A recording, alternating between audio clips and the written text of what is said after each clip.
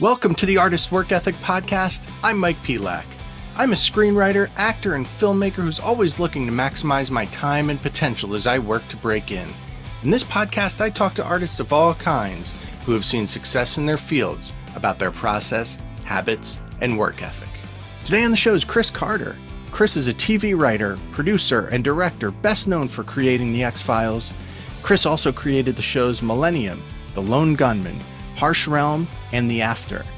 The X Files earned two Primetime Emmys out of 16 nominations and five Golden Globes out of 12 nominations. In addition to creating the show, Chris wrote and or directed many episodes throughout the show's run. I also recently launched my Substack. I'll be putting out some writing through Substack each week, and that's also how you can stay up to date on this podcast as well as other projects I'm involved in. I hope you'll subscribe to read along at mikepelak.substack.com. That's M I K E P E L A K dot. A couple quick things before we jump into the episode. I've talked in the past about myself working on breaking into screenwriting. Please check out blackoilfilms.com slash screenwriting. There you can check out some of the screenplays I've written.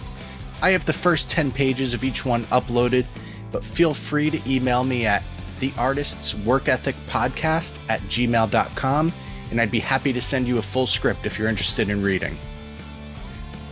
Last thing before we get into the episode, I would love anyone listening to subscribe, rate, and review the Artist's Work Ethic podcast wherever you listen to podcasts.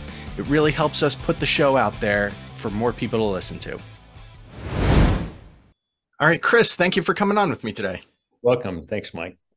So, going back to your early days, you know, it, growing up at the beginning of your career, you know, your formative years, do you think your work ethic comes from uh, how you were raised or some external factor in your life? I always talk about DIY and punk rock really inspired me to get out and just do things and work hard and get it done. What was that for you? Oh, I had a good work ethic as a kid. Uh, it was instilled in me. My grandparents were dairy farmers, and so to be a dairy farmer, you've got to get up very early.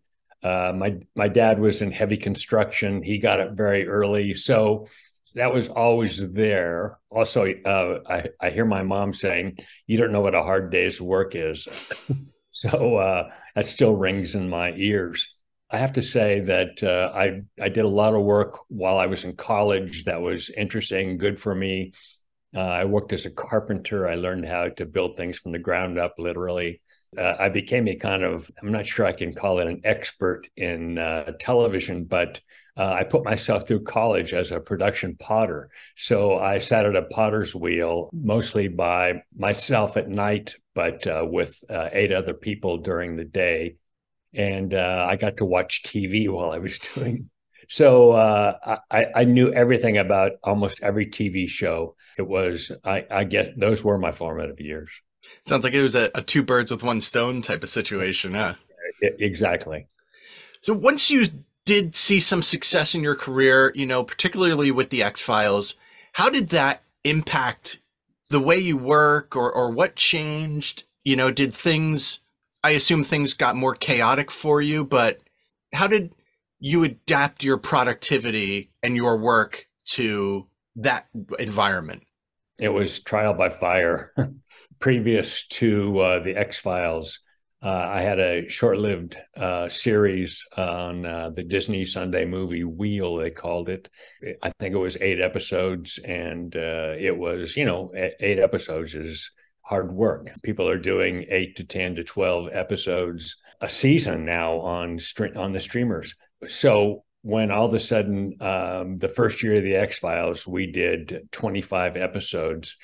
It was uh, you just you're always trying to uh, keep just keep your head above water. I learned on the job about productivity, and even though I know knew how to do the job, I didn't know how to do it at that uh, scale.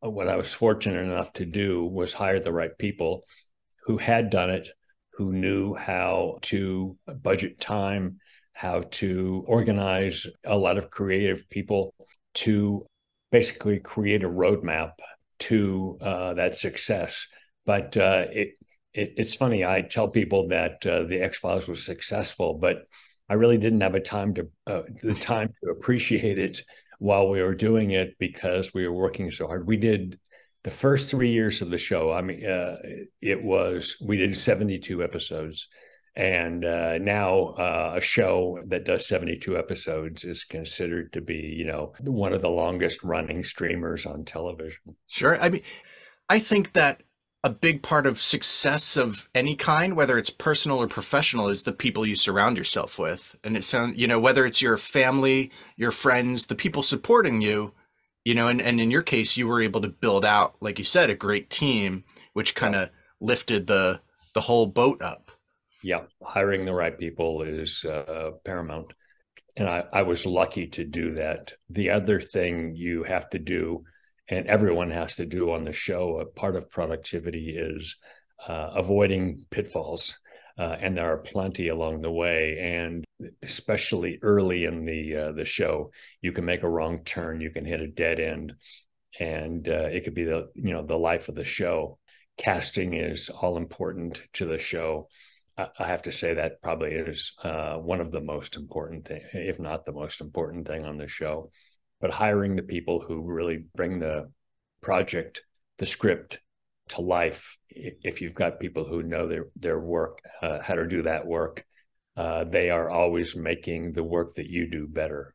Well, to that point, you've collaborated with a, a lot of great actors and writers and directors, uh, you know, art departments, everything along your career. What's something that you've learned from someone else that you've been able to pick up and you know identify whether it's something super practical or something core you know more theoretical and apply uh, to your own career i can tell you one thing that i was very thankful for was uh, the writers morgan and wong had worked on Stephen Cannell shows. And uh, so they knew about productivity and they knew about output and they knew about budgeting time and they knew about uh, how to make things good the thing that they brought to the show, which is a really, I'll call it fundamental thing, is they brought a bulletin board and three by five cards. And uh, that's the way we uh, plotted the show from uh, right from the beginning. I had worked on a whiteboard prior to that, and uh, it was kind of sloppy and it was kind of uh, haphazard. They brought not only that bulletin board and those three by five cards, but Glenn Morgan brought like I would call it perfect handwriting. And that became a signature of the uh, script side of the show was uh, everyone tried to copy that uh, perfect handwriting. It almost brings a calm to the room, right?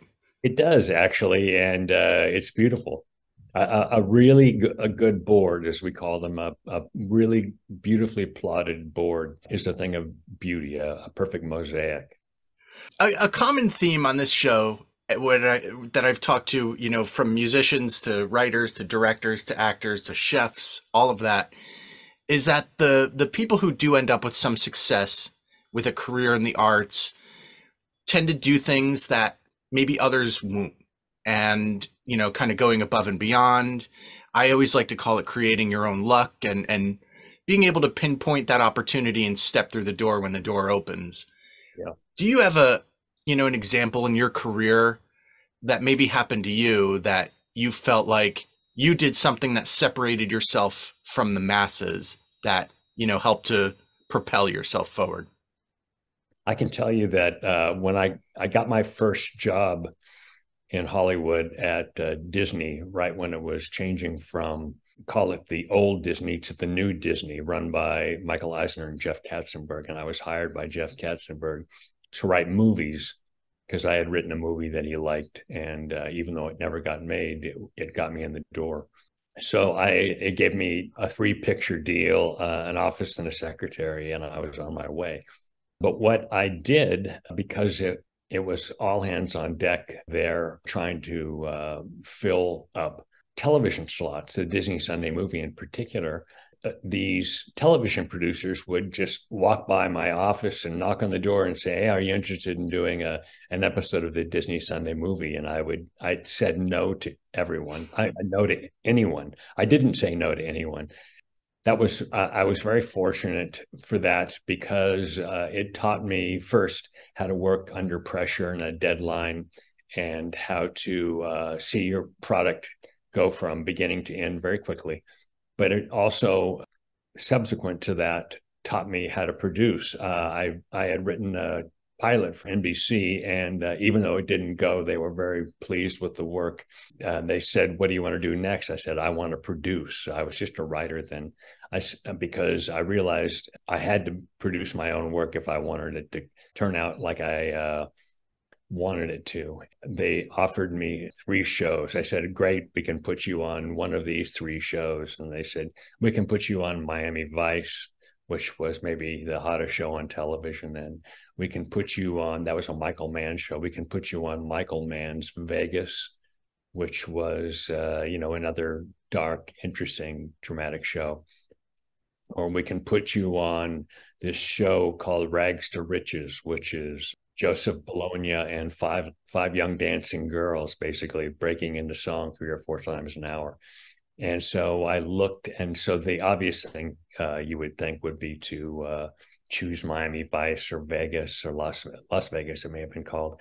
But I looked at that show, Miami Vice, and I saw that all the writing producers were in Los Angeles, and the show was actually produced in Miami, shot in Miami. I looked at uh, Las Vegas, same thing. The writers were in Los Angeles, and the uh, show was produced in Las Vegas. And so I said, I'll take Rags to Riches because it was produced uh, in Culver City. It was a really great choice. I worked under a guy named Lynn Hill, who was a kind of titan in the movie of the week realm. He was producing the series. He let me do everything. I got to work with, first, I got to work with skilled writers, people who had done the job before. But then I got to work, I got to work with choreographers. I got to work with lyricists. I got to cast, I got to uh, work in all phases of production. And so it really set me up for uh, what I would end up doing in a, a, leadership capacity. Yeah, it sounds like it put a lot more tools in your tool belt. You know, it's kind of a cliche saying, but you know, it was the it was the first prep, I guess. It it was, and uh, you know, I'm forever grateful for it. So you you, you had you've had instances i'm sure in your career you know setbacks and rejections as as we all do you know whether it was that early pilot that nbc didn't want to pick up and how have you throughout your career pushed through those and kind of been able to you know it's probably more mental than anything but mentally continue on and you know open up final draft and start that next script yeah. when maybe you're thinking this I, I don't know if I'm if I'm still doing you know if, if I'm done with this or not Yeah, you, have got to get used to uh, rejection, failure, call it what you will, because it's a business of failure. Probably more than nine out of 10 things uh, succeed. And so uh, you, if you get lucky and you choose the right cast and you have a good script and you hire the right director and you do all the other things that you need to do, which is uh, cast uh, actors surrounding your leads, uh, wardrobe, the right editor or right editors in the case of a series. That is something that uh, something that I, I, I learned to do very early on, and I realized that it, it's it's not a job you do alone. Yeah, I mean, it goes back to what we were talking about earlier of just that that team that you're surrounding yourself with. Uh, when when you're sitting down to write a script, whether it's a you know a brand new series, it's you know the whatever episode of whatever season within a series, uh, a feature. What's your kind of very high level, you know, your process when you sit down to start that new script? First of all, uh, there's always a gun to your head. and uh, deadlines have a way of putting that gun to your head. And um, so that's something that uh, if you can set yourself dead up with deadlines, uh, the work will be better for it, I think. Funny, I saw an interview or an article on, in the New York Times yesterday about no, uh, Nora Roberts, and she said uh, she puts her butt in the chair and her fingers on the keyboard, and that's exactly what I always tell people.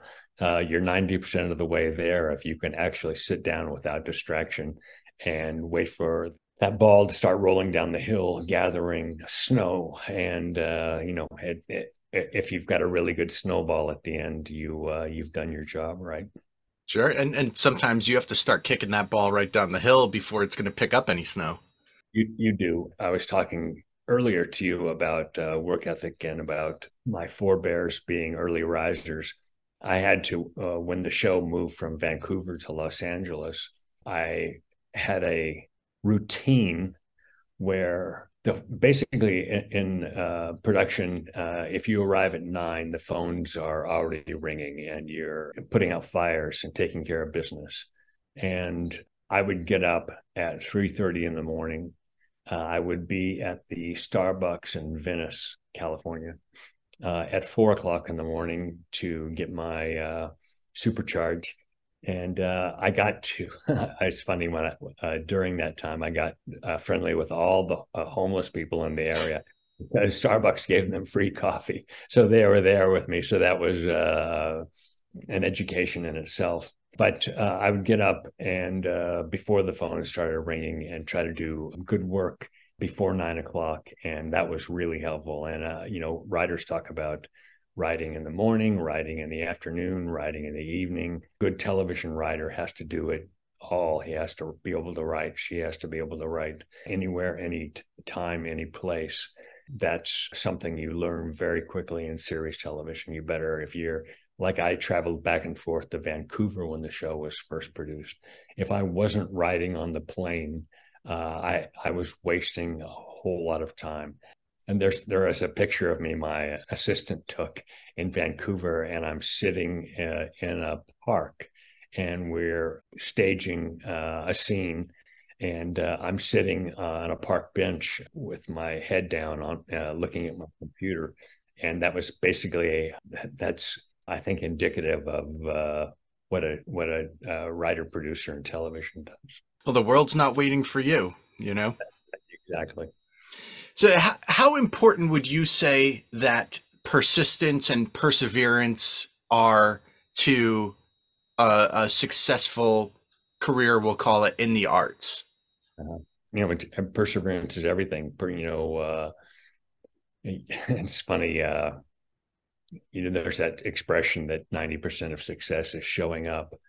And uh, I uh, once said that to uh, a house painter and he said the other 10% is cleaning up. Uh, I think that could be said for a television producer too. There's a lot of mopping up and a lot of false starts. Persistence is what gets you across the finish line. Is there anything that you want to plug or talk about before we go?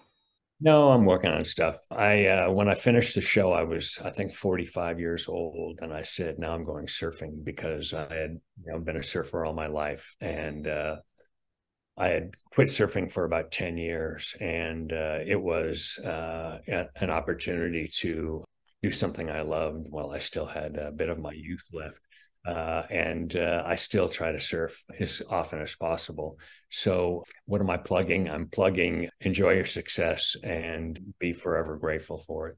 Love that. Chris, thank you for coming on with me today. Thank you so much for listening today. Please subscribe to the Artist Work Ethic podcast anywhere you listen to podcasts, and please rate and review the show. Follow us on Instagram at The Artist's Work Ethic and check out theartistsworkethic.com.